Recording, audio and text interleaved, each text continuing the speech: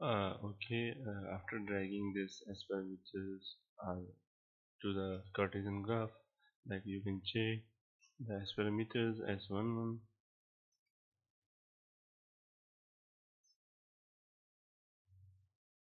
s21 uh, you may also convert the s parameters in dB these are the values like this.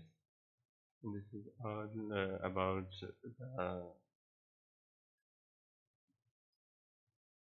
like